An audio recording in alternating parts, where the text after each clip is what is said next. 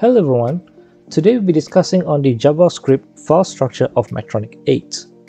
So first, we need to purchase and download Metronic. To do that, we can just navigate to keenthemes.com slash Metronic, which is our official website, and just click on this Buy Now button to open up the ThemeForest page where you can purchase Metronic. Now, what I'm going to do is I'm also going to link this ThemeForest page directly in the description below, so just click on that to come to this page directly. Now, if you already have Metronic 8 latest, if you already have purchased Metronic 8 or any version of Metronic, you can just go ahead and download the latest version for free. If not, you can just purchase it from here. Now, once you've done that, it should look something like this. So let's go ahead and, and unzip it and then go into our file.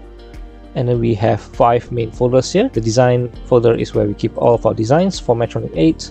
And then we have four versions of Metronic.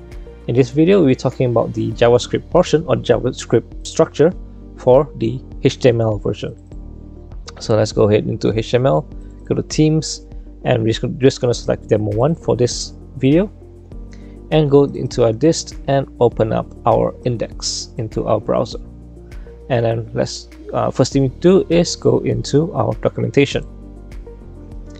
And then once it's in here, we can actually go to you can actually start browsing our documentation like we have a whole bunch of stuff here where you can see like any documentation for buttons or a rating type star or even certain forms like clipboards, date pickers, validations, even our data tables are all listed here.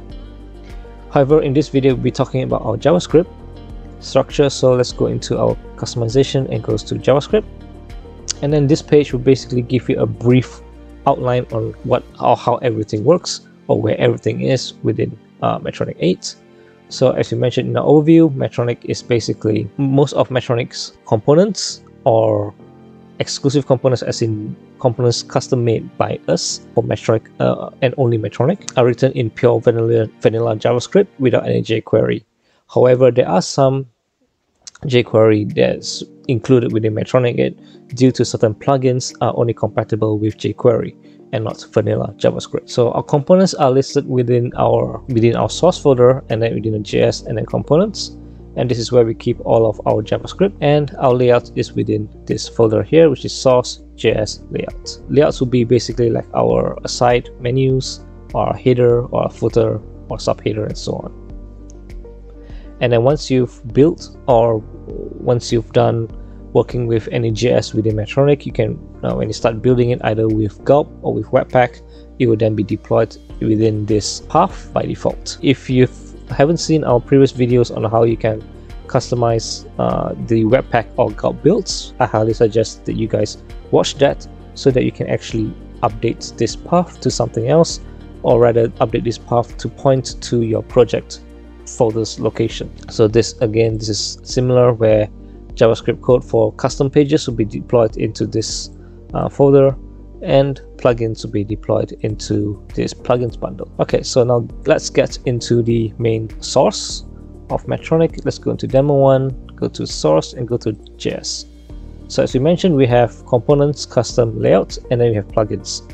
So in plugins, we just have all of our plugins right here it's just a simple this is all custom plugins that probably not included within npm or yarn. Or basically it's not within any package manager library. So these are all plugins that are included manually through downloading a js file from the website and then just put it into this uh, folder right here. And then we have if we look into our components we have all of the plugins or plugins all the javascripts for components that requires certain function uh, JavaScript functionality of JavaScript logic. For example, if you look at maybe our password meter. So our password meter is, let's look at our demo again. Let's open this. And then let's look for our password meter. Let's go to user, maybe view user. Can we see the password meter here?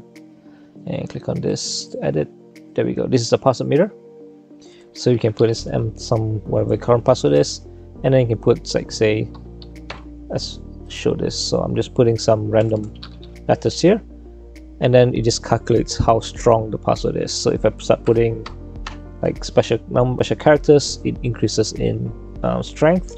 I put numbers increase in more strength. And I put capital letters it add, even adds more strength to it so this is a, a functionality that we've built uh, into Metronic 8 and the functionality can be just located within this JS file itself.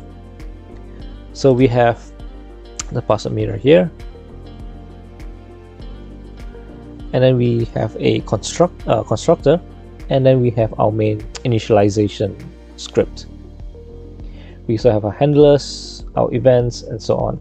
So this is basically the the core or not the core this is like the the main script or the name the main function for the password meter. However if you want to use the password meter it's used somewhat differently. For example if you go back to our documentation and if you go to let's see password meters right here you can see how we can initialize it from here and then we have our base examples and then we even have a base uh, basically code samples for you so to initialize it you can actually just put in you need to put in this attribute here to basically say that oh look this is a password meter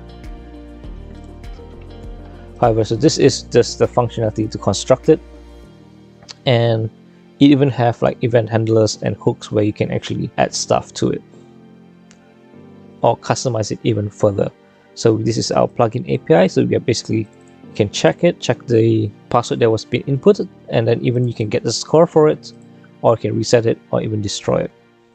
And then if, for example, if you add an attribute, for example, if you add this attribute into a HTML element somewhere, and let's say you want to control it so to do something else you can actually just uh, get the instance using this this method right here. All right so that is that is password meter however what we're talking about here is actually all of our components are actually listed or placed or organized in.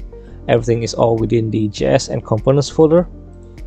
So we have like uh, all these uh, components that you can use.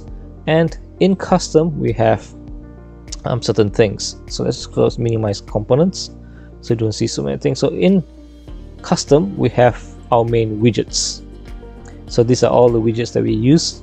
So this is like 36 widget 3, this is widget 4, and so on. We have like a whole bunch of widget, uh, widgets here that you can use. How we can actually identify what these are, so you just have to look at um, these names here. So for example, let's look at our widget pages go to any widgets let's go to statistics so this is if we inspect it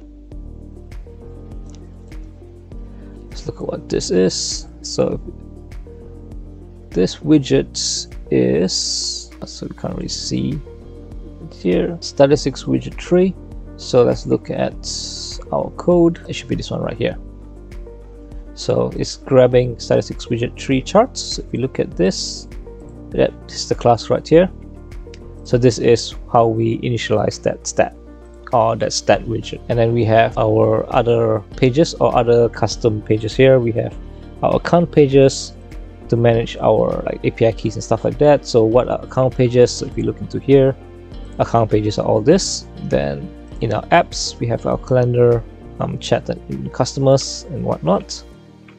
You know what, let's just close this all right so in here we have apps where's our apps yep right here so we have customers we have subs uh, subscriptions um, invoice and so on. So these are subscriptions and then invoices. So everything is just laid out very easily right here. Then we have authentication. We have our layout builder models and pages. So the thing that you have to take note mostly is actually the um, the account apps authentication and models and pages. So in pages we have like our careers companies and so on. So what are pages? If you scroll down here yep pages. So we have our profile projects widgets such as so on. So these are all the js that's relevant to one of those pages. You do not need to worry about the layout builder or the documentation because uh, in your project you probably most likely will not need any one of this. Okay so that's our custom. And then next we have our layouts. So in our layouts we have our main app which is just to initialize certain things like our tooltips. What else do we have? Our popovers and so on. And then we have our aside. This is to handle our aside menu. Our side menu is basically this thing here. So we can like you have this functionality like that, or you can just keep it open like that. We have a certain explore. Uh, we have search and toolbars and, and our and our toolbars basically. So this is for our layout. Our layout is to define our layout is actually fairly simple. We have the the main menu here, our header here, and if you scroll down, our footer.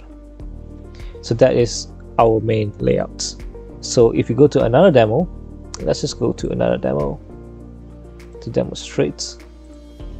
Let's go to maybe demo 2, put dist and index, open it here. So in here we do not have an aside, that's fine. However, we have a header, we have a header right here, and then we have a footer, and then the explorer is just this thing right here. This is like a drawer that we, we have. You don't have to use this exactly, but you can manipulate this to um, change the content to something else that your project requires. Alright, so what else do we have here? I think that's pretty much it for JS. We talked about plugins already, yep, we did. And yeah, so I think that's it for this video. I hope you find this video informative. If you did, give us a like and uh, subscribe to our YouTube channel um, and turn on the notification bell so next time we release a video you get an update. Please also follow us on our social medias, links will be in, this, in the description below and I'll see you guys in the next video. Take care.